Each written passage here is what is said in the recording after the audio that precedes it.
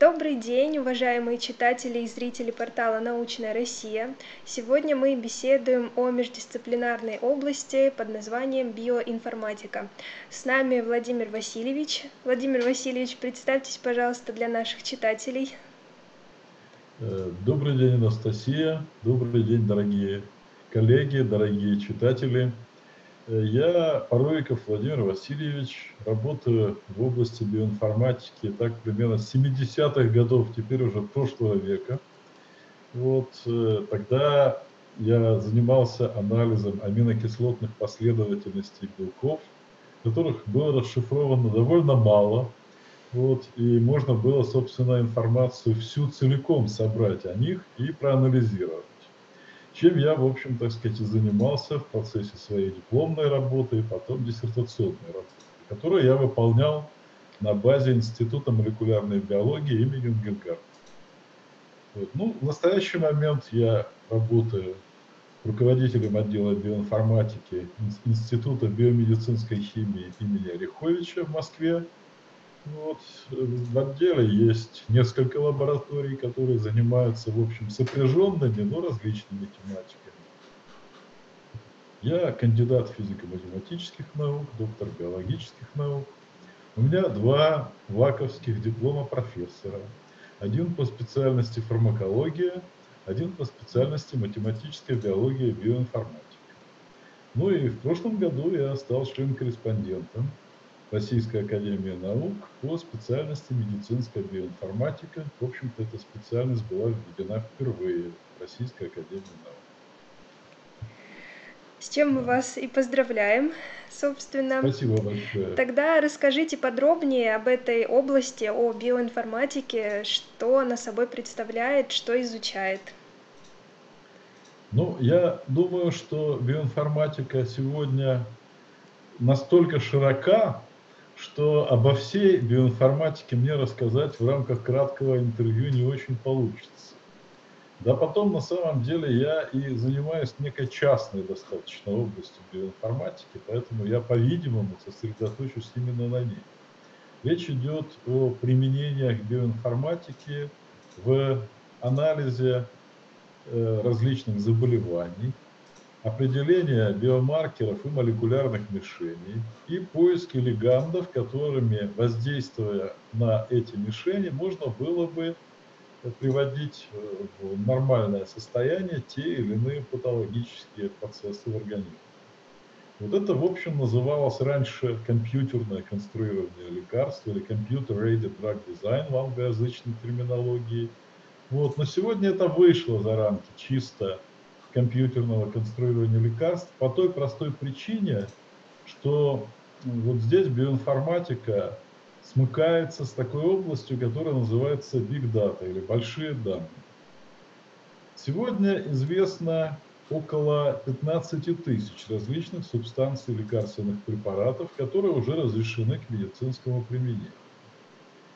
В процессе изучения находится около 2 миллионов различных опять-таки, фармакологических веществ, которые, возможно, часть из которых станет впоследствии лекарственными препаратами. Химических соединений, на основе которых можно изучать и которые уже синтезированы, существует свыше 100 миллионов. На самом деле объем химических соединений, которые могут быть синтезированы, представляет огромные цифры, то есть это 10 в 30, 10 в 60 степени. Иногда говорят, что нет столько атомов во Вселенной, вот, чтобы как бы представить себе вот такое количество, в общем-то, молекул. Но это понятно, потому что органическая химия, в принципе, бесконечна. То бишь, если к любому органическому соединению добавить еще одну метильную группу, то получается еще одно химическое соединение. Таким образом, в общем, пространство химии здесь оно очень велико. Но на самом деле велико и пространство биологии, в процессе которой, в, процессе анализа которого приходится, в общем-то, анализировать химико-биологические взаимодействия. Ну, на сегодняшний день Согласно нашим представлениям, в организме есть около 20 тысяч различных белков, которые потенциально могли бы стать мишенью. Но если учесть, в общем, посттрансляционные модификации, альтернативный сплайсинг, то число этих белков, оно многократно умножается, их становится свыше тоже двух миллионов. Ну, я уж не говорю о темной материи генома. То есть, вообще-то говоря, мы еще совсем мало знаем о том, как неэкспрессируемые части генома участвуют в различного рода регуляторных процессах. Но, тем не менее, в этом плане в общем, исследования начаты и будут, я думаю, активно развиваться по мере развития соответствующих технологий. То есть в данном случае технологии определяют возможности исследования. Ну и вот я попытался представить здесь, соответственно, значит, два пространства. Химическое пространство, биологическое пространство. Но есть еще и третье пространство. Когда мы говорим о разработке лекарств, третье пространство относится к человеку, то бишь к индивидуализированной или персонализированной медицине. Разнообразие реакций живого организма на различные лекарственные препараты тоже чрезвычайно велико. То есть иногда мы получаем некие э, парадоксальные реакции. Иногда у некоторых людей, соответственно, на введение лекарственного препарата возникают нежелательные побочные реакции. Это связано в определенной степени с генотипическими и фенотипическими особенностями пациента.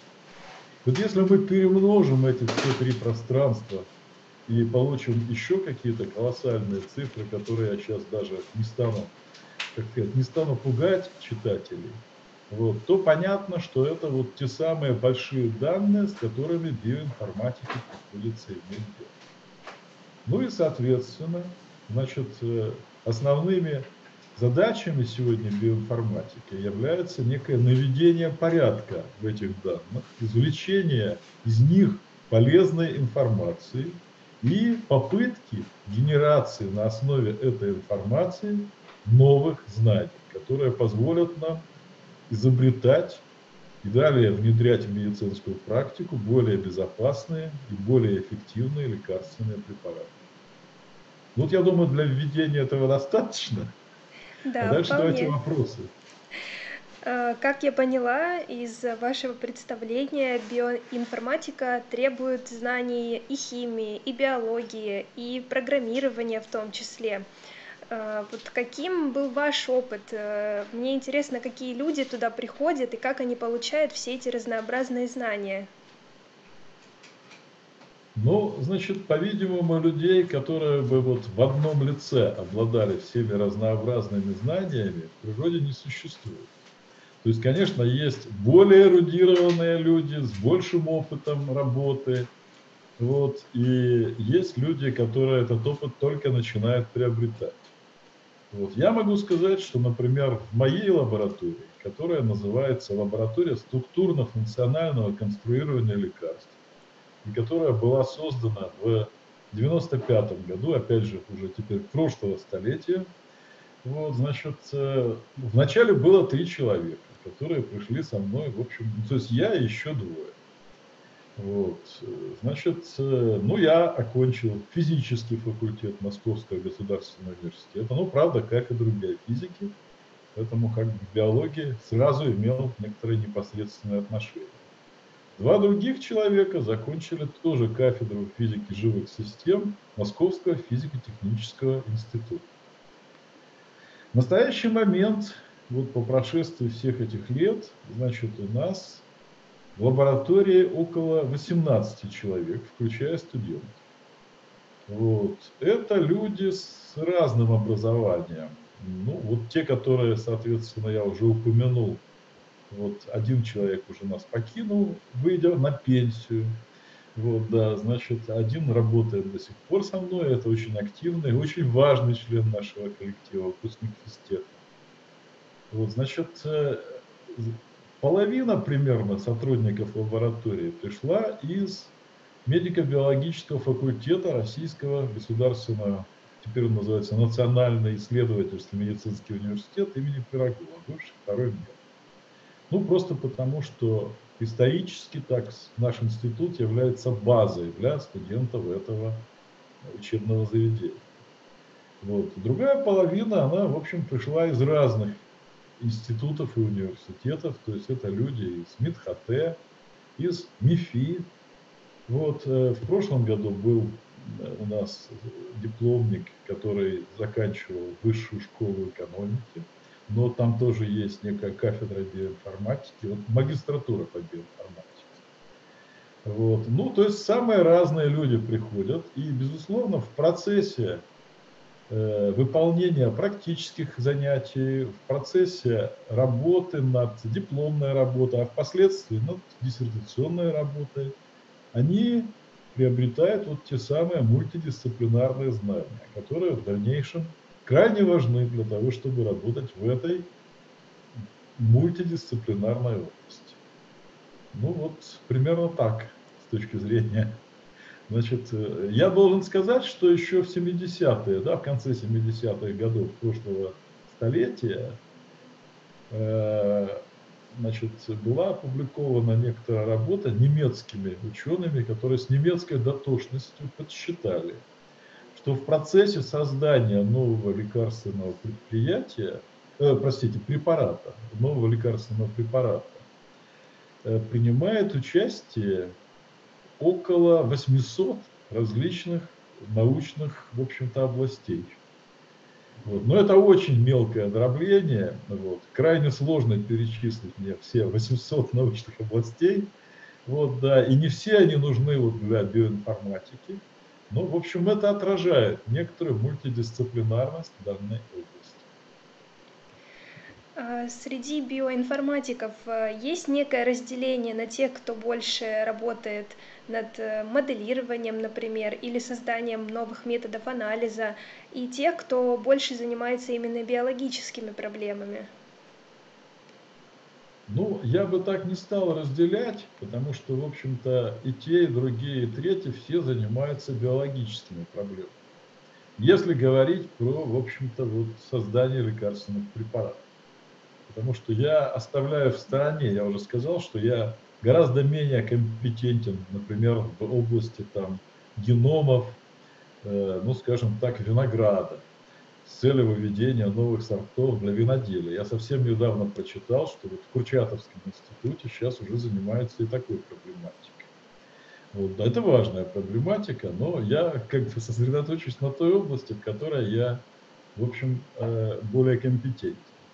Я упомянул, что у нас сегодня работает около 18 человек, включая студентов. И вот эти люди, они действительно являются взаимно дополнительными с точки зрения своих умений и опыта. И, в общем, эта лаборатория создавалась на, ну, как бы в течение нескольких, даже уже теперь десятилетий, двух десятилетий. Вот, значит, и, соответственно, мы сильны именно как коллектив потому что люди дополняют друг друга. Один знает, например, что-то о поиске молекулярных мишеней, о их возможности приоритизации с точки зрения терапии тех или иных патологий. Другой знает что-то больше, чем другие. Это не значит, что остальные вообще ничего не знают, но он больше знает о лекарственном метаболизме. Третий лучше владеет техникой поиска взаимосвязей структура активность и, значит, соответственно, разработкой соответствующего программного обеспечения, а до того еще и математического аппарата, который в этом программном обеспечении будет использоваться. Четвертое занимается молекулярным моделированием, скажем, взаимодействия фермента с рецептором. Там пятый хорошо владеет техникой анализа больших данных. Ну вот в частности сейчас у нас одна из задач, над которой мы работаем, это анализ более 1 миллиарда химических соединений с целью поиска хоть чего-нибудь, чтобы помогло справиться с нынешней пандемией COVID-19. Вот. У нас вот такая задачка сейчас поставлена, и мы над ней работаем. Вот надо, чтобы были люди, которые умеют работать с такими массивами данных. Это совсем непростая, нетривиальная задача. Поэтому, в общем, люди, конечно, специализируются. И очень важно, чтобы люди не замыкались каждый в своей области, а были готовы к сотрудничеству. То есть вот именно сила как бы коллектива в том, что это люди, готовые к сотрудничеству и, как говорится, не прячущиеся по коморкам, не скрывающие некий ноу-хау от своих сотоварищей и коллег. Это, по-моему, вот залог успеха. Настоящая ну, вот, командная работа. Бесспорно. Это очень важно. То есть я считаю, что без этого вообще вот в такой задаче, как поиск новых лекарств, делать просто нечего. Да. Э, расскажите, вы уже частично упомянули виноделие, интересная область, но в каких э, самых важных направлениях развивается биоинформатика? Ну, значит, э, опять же, как говорится, понимаете, говорить самое важное, все важные. Вот, но все важные по-разному. Каждый кулик свое болото хвалит. Я буду, конечно, говорить про, опять же, вот анализ данных в аспекте поиска новых лекарств. Значит, но прежде всего, конечно, речь идет о механизмах патологических процессов. То есть в настоящее время мы стоим перед э, тем, что накапливается очень большое количество новых данных, получаемых методами геномики, транскриптомики, протеомики, метаболомики, которые, в общем, начинают сравнивать друг с другом, сравнивая эти данные, полученные для различных образцов в норме и в различных патологических состояниях. Возникает, естественно, вопрос, а что такое норма? У врачей есть такая притча, что норма, это, точнее не норма, а здоровый человек – это недообследованный больной. Вот, да, поэтому, значит, естественно, возникает вопрос, что такое норма. Но на базе нашего института, например, за норму э, считают, э, в общем-то, людей, которые готовятся в космонавт. То есть это пациенты или не пациенты, а контингент Института медико-биологических исследований. Вот люди, прошедшие специальный отбор таким вот образом, в общем, рассматриваются в качестве вот нормы здоровых людей. Вот, значит, соответственно, сравнивая вот эти большие данные, полученные для различных биологических образцов от разных индивидов, пытаются установить, ну, в общем, корреляции между, значит, отклонениями тех или иных, скажем, ферментов или других там белков, как говорится, или уже теперь каких-то регуляторных РНК, может быть, значит, э, которые бы свидетельствовали о возникновении той или иной патологии. Вообще говоря, классификация заболеваний сегодня, она базируется на, ну я бы сказал, так сказать, необходимости статистического учета. То бишь, ну, от каких причин люди умирают чаще, от каких реже, так сказать, и туда в классификацию заболеваний включены и несчастные случаи в том числе. То есть понятно, что это не совсем биологические в общем-то, иногда аспекты, связанные со смертностью.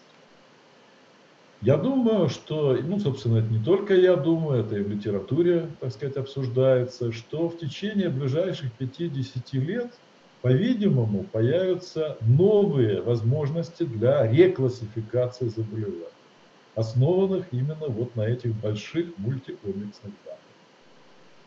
Ну и, соответственно, использование этой информации позволяет вычленять биомаркеры тех или иных заболеваний и биомаркеры, скажем, так сказать, возможного лечения, то бишь уже персонализации терапии. И, конечно, мишени для ну, воздействия на те или иные патологические процессы. Это быстро растущие области биоинформатики. С другой стороны, есть как бы более классическая часть, связанная с химией, то есть анализ вот тех самых больших данных, о которых я уже упомянул. То есть из миллиардов, в общем-то, и триллионов молекул надо найти те немногие, которые целесообразно изучить в эксперименте. Потому что понятно, что и синтезировать, и протестировать в биологических тестах миллиарды молекул не очень получится, как по практическим, так и по экономическим причинам. Этим тоже очень активно занимаются в мире, ну, в том числе и у нас, и в России. Вот, э, не только наш коллектив, но и другие коллективы. Я могу об этом говорить достаточно ответственно, потому что мы уже в течение 26 лет проводим симпозиумы, которые называются «Биоинформатика и компьютерное конструирование лекарств» в рамках российских национальных конгрессов «Человек и лекарства». Ну и вот в очередном апреле в условиях пандемии мы такой симпозиум провели впервые онлайн.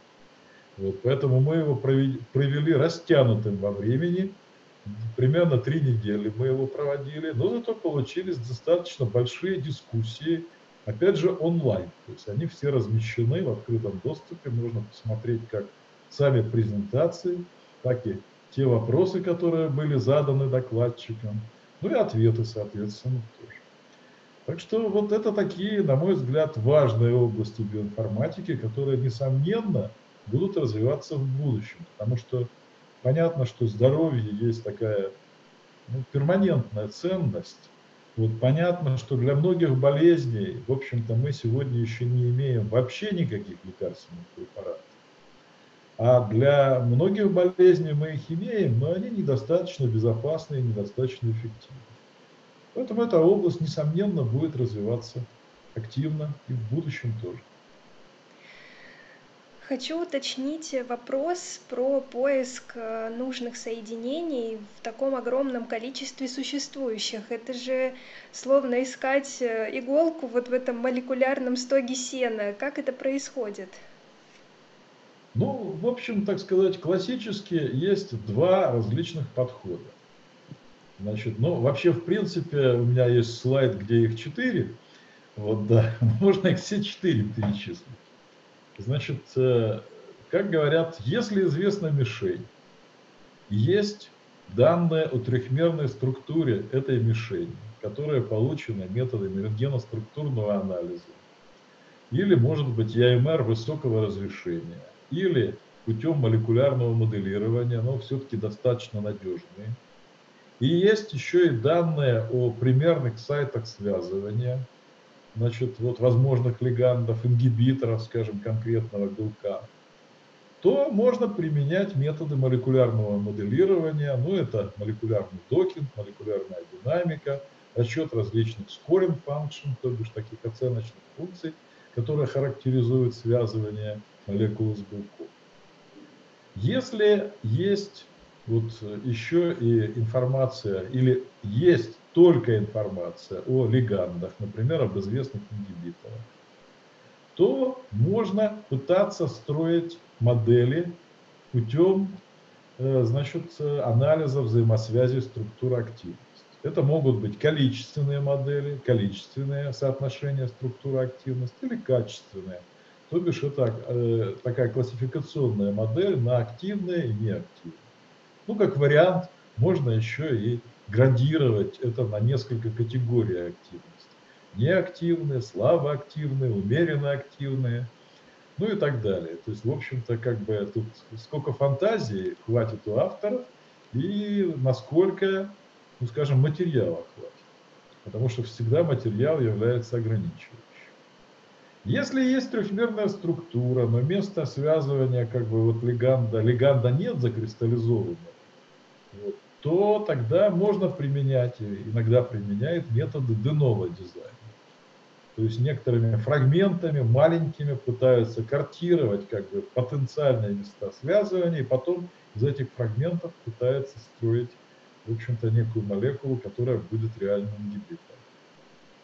Если нет информации ни о мишени, ни о, значит, легандах, никакой такой информации нету, то тогда остается один эмпирический путь. То есть надо все-таки первоначальную информацию показать или найти путем экспериментальных исследований. Ну и здесь применяют методы высокопроизводительного скрининга. Сейчас они роботизированы. Вот. Ну и иногда, чтобы увеличить количество, ну скажем так, тестируемых соединений, при этом используют методы комбинаторной когда тестируют одновременно смеси веществ в различных ячейках, значит, э, этих самых реев, значит, и только те ячейки, которые, скажем, проявили активность, только их дальше разделяют уже на отдельные соединения и выявляют, какие же из реально существующих соединений являются активными. Ну вот примерно так. Значит, ну, можно еще проиллюстрировать, по-видимому, на примере вот сегодняшней пандемии, потому что это как раз очень хорошая, хороший случай, абсолютно чистый. То есть на 1 января 2020 года мы вообще еще ничего не знали об этом вирусе. Буквально вот сейчас, за, э, ну, скажем, 5 с небольшим месяцев, ну, скоро 6 месяцев, опубликовано уже более 20 тысяч работ – посвященных этой проблематике.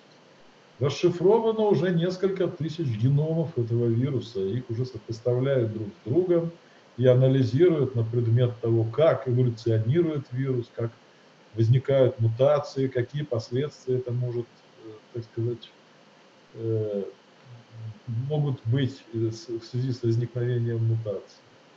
Более того, уже экспрессированы и выделены отдельные белки, Определены трехмерные структуры этих белков в комплексе с некоторыми ингибиторами. Тоже уже сегодня в э, белковом банке данных Protein Data Bank значит, есть свыше 20, наверное, уже около 30 различных трехмерных структур, расшифрованных методами рентгеноструктурного анализа.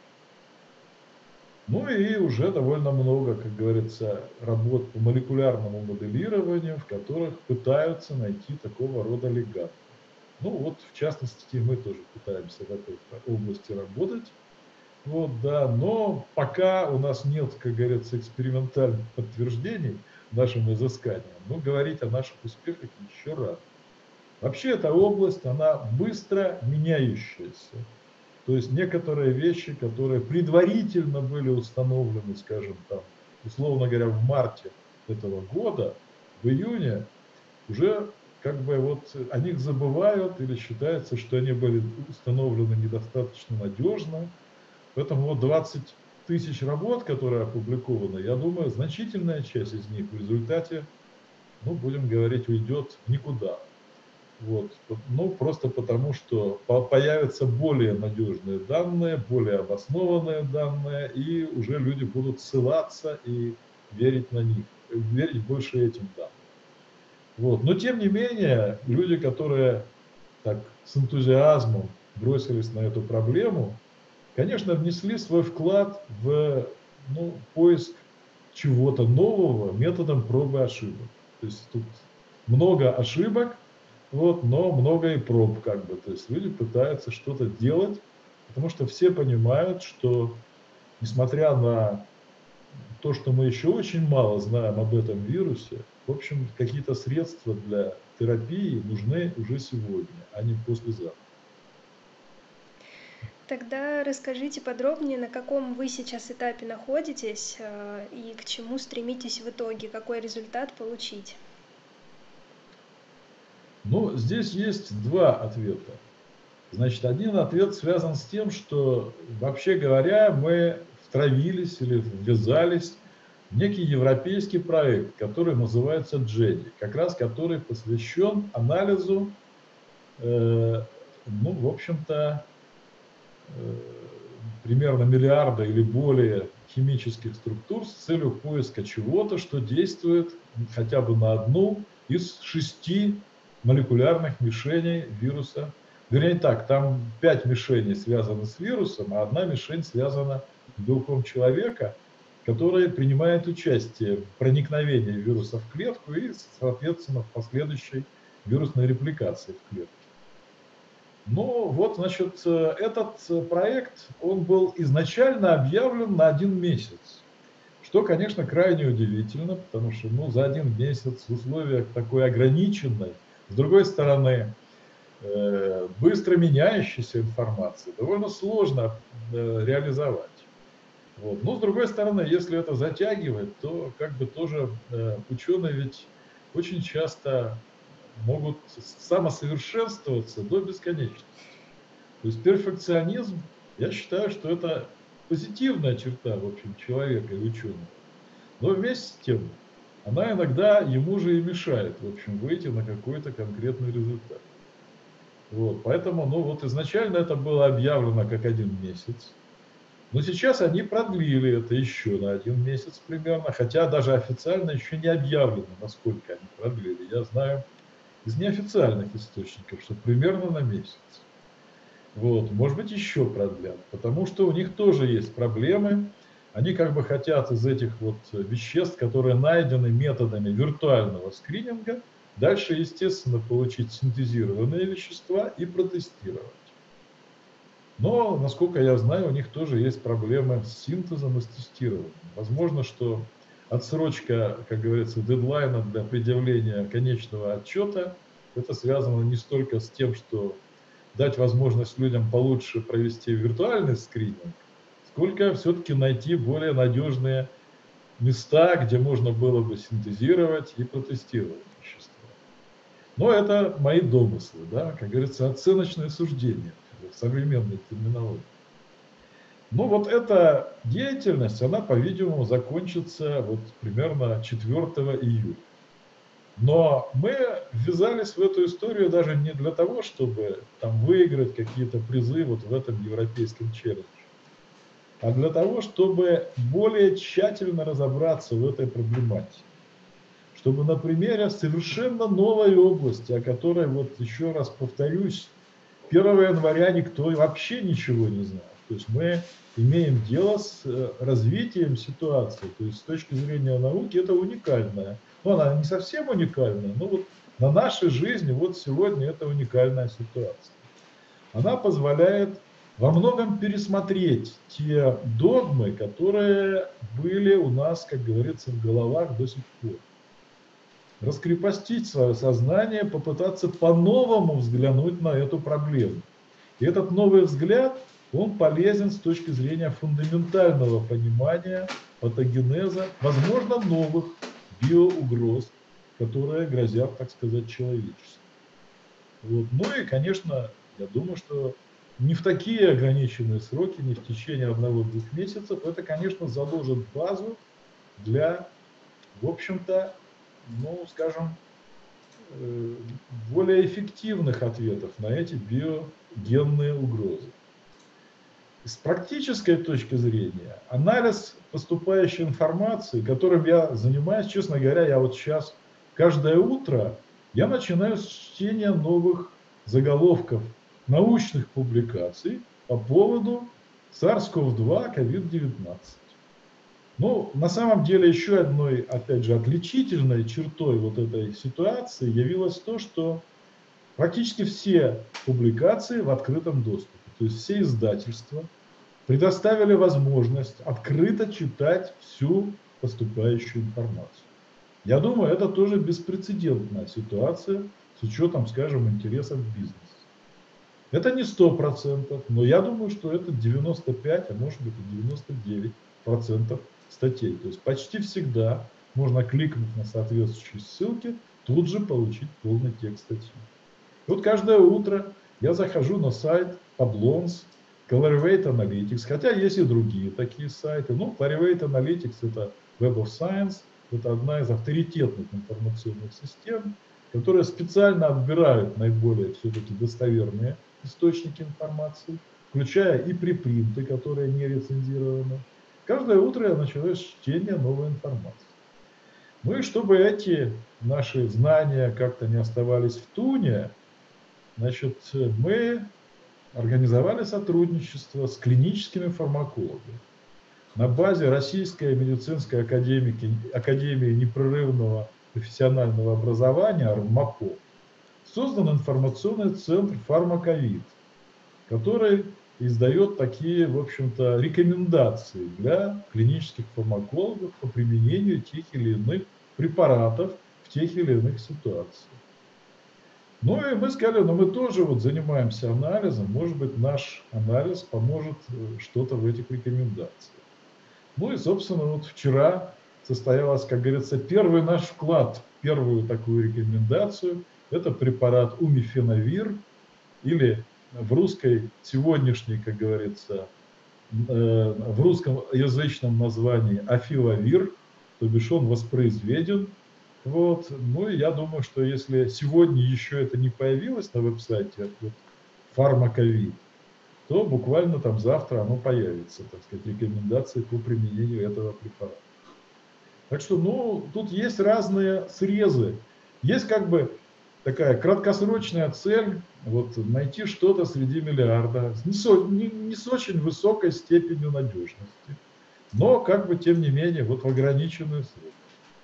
Есть цель более углубленная, приобрести новые знания, новые умения, которые впоследствии могут многократно применяться к похожим или даже, так сказать, совершенно другим задачам. И вот я думаю, вторая цель, она даже более важная. Хотя первая тоже, несомненно, имеет высокую актуальность. Спасибо вам большое. Желаем вам дальнейших успехов и, конечно, процветания вашей лаборатории. Пусть она пополняется новыми талантами, а мы будем следить за ситуацией. Спасибо вам большое. До свидания. Спасибо большое, Анастасия. Ну и спасибо тем, кто найдет время и возможность в наше непростое время послушать это интервью. Вот, я думаю, что все мы должны осознавать сложность сегодняшней ситуации и по мере наших, опять же, возможностей делать все для ее скорейшего разрешения, для ее нормализации. Спасибо. Спасибо.